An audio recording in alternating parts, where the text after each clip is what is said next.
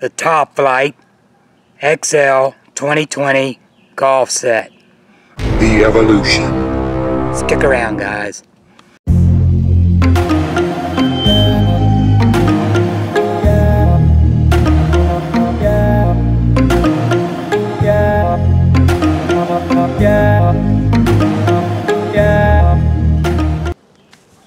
Hey, hey, YouTube, welcome back to Erobin Outdoors. Hey, I'm Erobin, but you knew that, didn't you? Hey guys, it's been a while. I apologize. About a little over seven months ago, I made a video about my Top Flite 2020 XL golf club set. And who would have thunk that seven months later, that video would be my fourth most watched video and have right at about 8,600 views. Now for me, that's a lot. When I made that video, I thought maybe I'd get 50. I'm glad to see that the video has helped so many people. I know that many people said that they have bought the clubs after watching that video, and I hope they've worked out for them. Well, one thing that you can count on, and if you're a golfer or you're into golf, you know that your game and therefore your equipment over time evolves. And so is true with my Top Flite XL golf set. So today I'm going to show you how my golf set has evolved just over the past seven months. Now I just started to play golf again seven months ago. I wanted to do it because of my health so that I could get some exercise and I thoroughly enjoy the game as frustrating as it can be. I've been able to hook up with a longtime friend of mine I mean way back to sixth grade guys. He also enjoys golf and a lot of the evolution of my bag is due to him. So uh, what I want to do is tell you a little bit about how my game has changed. Now, seven months ago when I bought that set and I started playing, I was shooting, if lucky, a hundred. More like 102 to 107. Let's just average it to 105. Not very good. But I don't play to compete. I play for fun. I play for exercise. I play to spend time with my friends and family. The only person I compete with is myself, and that is to get better. And that has been my goal over the past seven months. To improve my game, and therefore my score, which is a direct reflection of your game. So, in doing so, I found that I had to make some changes to my clubs. And some of the changes that I'm going to show you are aesthetic changes, just visual, things that just look better. But the majority of the changes are functional changes. Changes that I've made that have actually improved my game. As of now, seven months later, I am shooting in the 92 to 96 range. Let's just call it 95 for easy sake of math. And we can say that in the last seven months, I have taken 10 strokes off of my game just in seven months by allowing my bag and my equipment to evolve along with me and my play style. So what I'm going to do, I'm going to show you a clip from that older video seven months ago so that you can see what the bag looked like then, brand new when I purchased it. Then I'll show you how the bag has evolved, what's in it now. Alright, so go ahead and take a look at that clip now.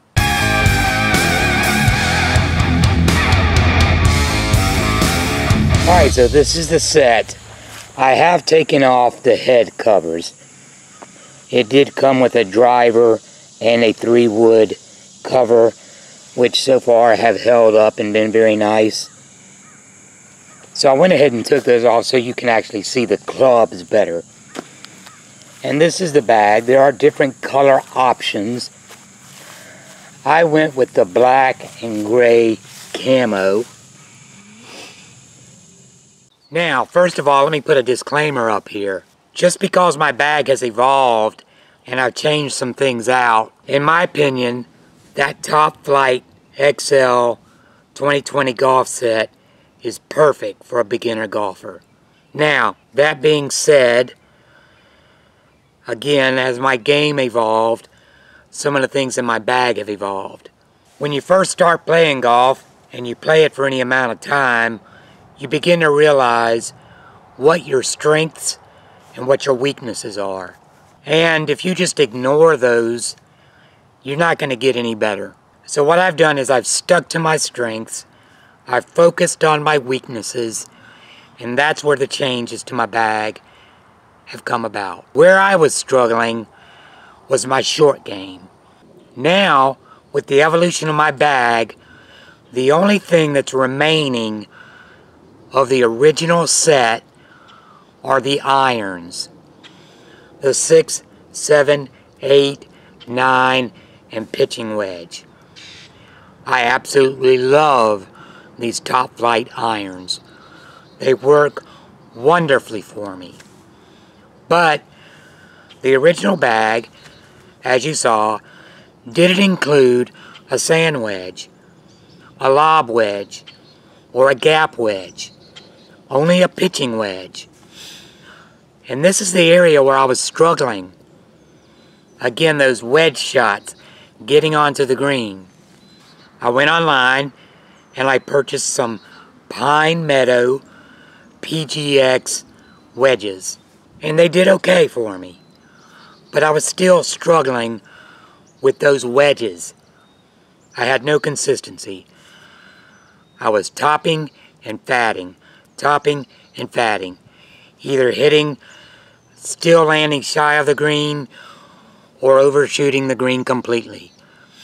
I was having a hard time controlling my wedges. Then I went out and I purchased what I made a video of and I titled that video the best 97 cents I ever spent. And to this day, seven months later, I still attest to that. This is the best 97 cents I ever spent, and it's one of the two clubs that have evolved in my bag that have helped me to increase my score by 10 strokes average. And that is this, this little chipper. It's uh, not expensive. It's a, it's a Northwestern Tour Choice Gary Player Tour, Tour Choice Chipper. You'll notice it has an alignment on it very similar to a putter. It's set up with a little bit of an offset, very similar to a putter. You actually swing this club the same way you do a putter. In fact, I even had a wider flat Odyssey putting grip put onto this chipper. Best 97 cents I ever spent. That's one of the evolution items in my bag that has really helped my game. The second area that I was really struggling was my drives. But with my drives, I had a very bad slice problem my ball was every time going off into the right, into the woods, into the water. Whatever's to the right of me, that's where my ball went. I tried everything I could do. I tried aiming way left.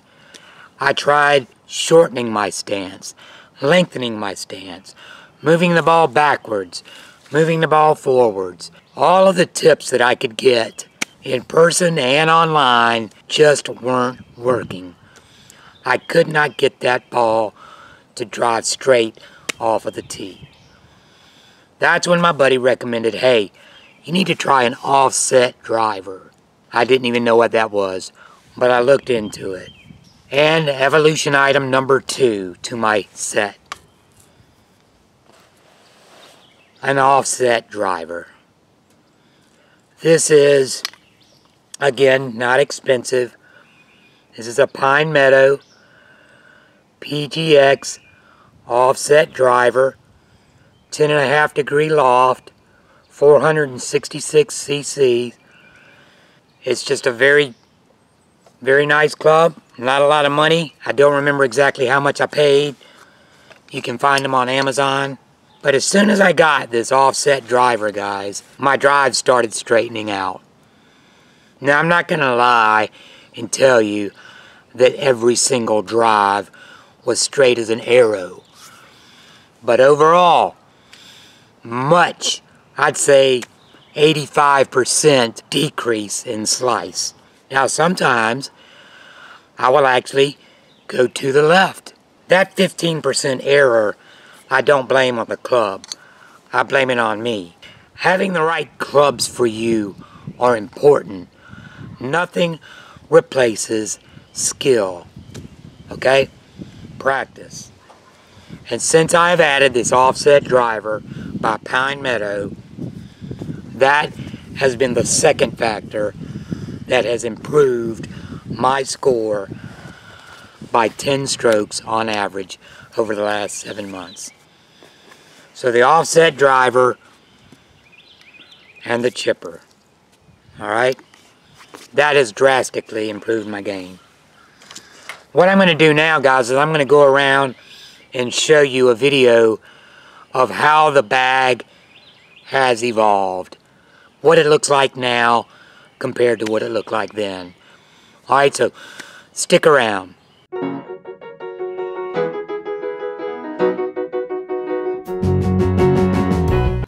Alright guys, so here we go. This is it. The new evolution of my golf set. You can see, of course, the bag has changed as well. I've gone to a Persimmon bag. And uh, it has a separate tube here for your putter.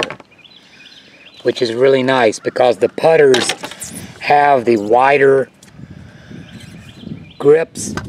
And that fits in there perfectly. Goes down without interfering with my other clubs and getting tangled up with them in the bottom. But this bag has a nice pocket here on top for things. That's usually where I'll put my keys, my bug spray, my sunblock.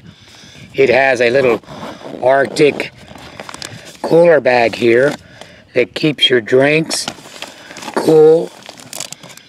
I can fit two small Gatorades in there or beer if I wanted to. It is insulated, as you can see. I could put some ice in there, I guess, but it does a great job of insulating. Also, there's a ball bag here for bags, tees, extra gloves. Right now, I'm playing the Bridgestone um, E6 balls in bright yellow because they're easier for me to see. Got a new towel. I think I might have shown you that. I don't know. It does have a place here for you to keep your glove. I've got this red glove just because, well, I like to match. I'm going to talk about that in a few minutes. Over here, I keep some earmuffs in case it's windy. It does have a nice place here to keep my umbrella. Okay? And then of course there's a big two zipper bags on this side. One where I keep extra towels. Um, I keep my shoe brush, things like that. Then another bag here where I keep my first aid kit, some extra keys, a uh, rain jacket that folds up. I've got the first aid kit in there with some boo-boo medication that sort of thing. And then over here is another bag where I keep my shoes. And then I keep this iron brush in there as well. I keep it zipped in the bag. And then here on the outside I attach my laser finder. Okay, it just kind of hangs there. Sometimes I'll put that bag inside of the uh, shoe bag. There is another utility pocket right here as well. I keep some cups, some of my pain medication, and a pill crusher in case I am having some pain and I need to take some emergency pain medicine. But this is a cart bag. It has a nice single strap, very comfortable, wide, has a handle here, and this is called a cart bag. It does not have the two legs that extend down. It also comes with a cover that snaps here and here, and here, and here. So in case it rains, I can cover them. And I keep that in this bag with my towels and stuff. Like I say, the only clubs that have not changed are my irons. Six, seven, eight, nine, pitching wedge, and my Top-Flite putter. Those came with the original set. Everything else has changed. Oh, I'm sorry. And then also I kept my five hybrid. And the 5 hybrid is a good third shot club for me if I'm in the fairway on a long par 5 and I've got a ways to go. That 5 hybrid does very well at getting me closer to the green if not on it. I have upgraded and changed the head covers to leather head covers instead of the neoprene or fabric ones that came with the set. Of course, I told you about my Northwestern. The two wedges that I told you I purchased, I got rid of because a good friend of mine gave me these two clubs. These are Cleveland CBX. He gave me a 60 degree wedge and a 50 degree wedge. Since he gave me these, and they are much nicer clubs than the Pine Meadows that I bought, I graciously accepted them because he wasn't going to say no. And I replaced those Pine Meadow clubs with these Cleveland CBX. Now, I've tried to start using these because my ultimate goal is to eventually get away from that chipper and to be able to use the wood, I mean the uh, wedges that I have. And now that I have my, I still have my 92 cent sand wedge that I'm using. However, my buddy who gave me these Cleveland CBXs, he told me as soon as he replaces his Cleveland CBX sand wedge, he's going to give me that as well. So I'll have all matching wedges, except for the Top-Flite pitching wedge that came with the set. And did I mention, I don't know if I did, if I didn't, I meant to, I have no intentions of changing those Top Flite irons because they work wonderfully. So those are the evolution of my wedges. Now I just need to get better with them. That's not on the clubs, that's on me. When you're blessed with some much nicer clubs by a good friend, I was humbled to accept that. And uh, speaking of which, there are two other clubs that have evolved in my bag. And again, these were gifted to me by my good friend Chaz. He was blessed to buy a whole new set of clubs. And he wanted to bless me by giving me his older clubs. And again, I was very humbled and uh, graciously accepted them. But the clubs that he gave me, in addition to the new wedges, he gave me these Ping G410. Very, very, very nice fairway woods. He gave me this three wood, um, nice graphite shaft, regular flex, which is what I like. But he gave me the three wood as well as the five wood. And let me tell you about this five wood, guys. This five wood is my new second shot club. In other words, I'll drive with my offset driver and most of the time end up in the fairway. But I'll still have a long way to go because I can't drive far. But this five wood makes an outstanding difference. And a lot of times on a short hole where I don't need to try to kill it off of the tee, I'll use this three wood instead of my driver. So anyway, there you have it. The evolution of the Top Flite XL series golf set. Do I still recommend that set? Yes. Is your game going to evolve over time? Yes. Might you find it necessary to try an offset driver or a different method of chipping, you'll definitely need some wedges, if not a chipper, because the original set only comes with a pitching wedge. But I still hold true to that set being a good set because my game has evolved, I've evolved with it, my equipment has evolved, I feel better about how I play. Now I'm shooting for breaking 90 to where 90 will be my norm then 85, and so forth.